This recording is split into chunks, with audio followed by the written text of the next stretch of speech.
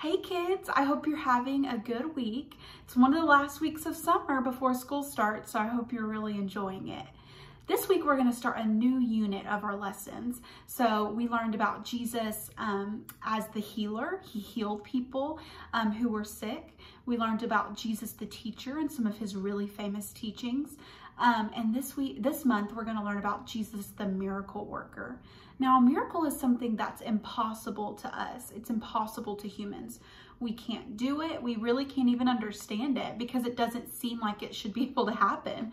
Um, but miracles are possible with God because we know that God is all powerful. And so this week you're going to learn about Jesus calming a storm. Jesus controlled the weather. I know, I don't know about you, but I wish I could control the weather. I would make it snow a lot because we never get snow in Arkansas and I love snow. Um, but yeah, Jesus, he calmed a storm. So what happened was him and his disciples were in a boat in the sea and Jesus actually fell asleep and a really bad storm came and the disciples were really scared. I know I've been in some pretty bad storms where I've gotten scared as well. And so the disciples went and woke up Jesus and, and were like, what are you doing? Um, you're just sleeping during this storm. And Jesus, it says he stopped the wind and he stopped the waves. He calmed the storm.